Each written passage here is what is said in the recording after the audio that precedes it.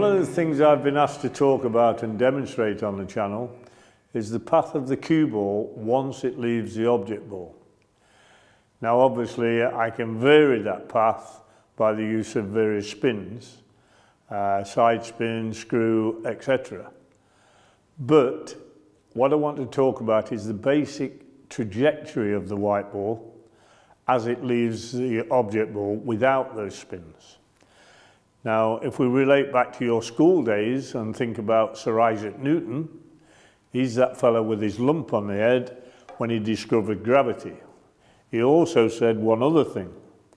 For every force in one direction, there is an equal and opposite force in the other direction. So if I've got a force hitting that red, I've got a force coming off that red, the momentum of the white ball will overcome that force, but not totally. So we get a swing effect off the red.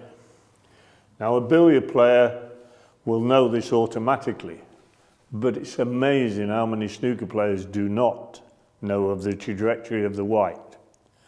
So if I play a half ball shot onto the red, the red will go over there in a straight line. The white will go towards that pocket, and it's amazing how many snooker players feel that that cue ball will go in a straight line. It does not. And we'll demonstrate it to prove it.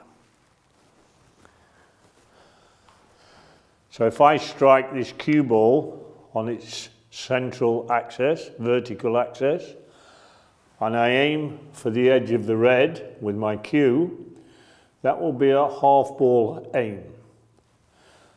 As I said, the red will go over there and the white will go towards the pocket. Watch the path, the trajectory of the white ball as it leaves the red.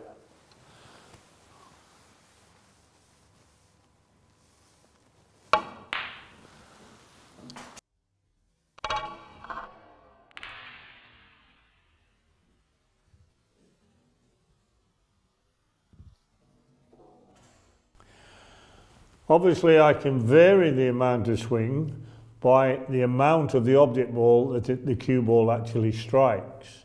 So if I've got a half ball contact, I will get maximum swing. That swing is significantly reduced when it becomes a quarter ball contact. It's even more reduced with eighth of a ball contact. And then when we get to a very fine edge, all we get is a straight line.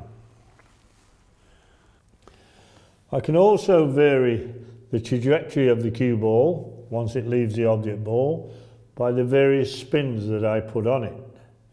So if I put right hand side on this cue ball, still a half ball aim, the, this will act as check side and the cue ball will go through at a narrower angle.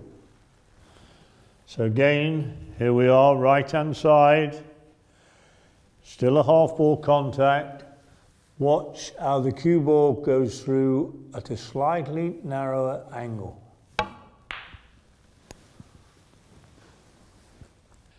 Snooker players can learn an awful lot by watching or playing the odd game of billiards.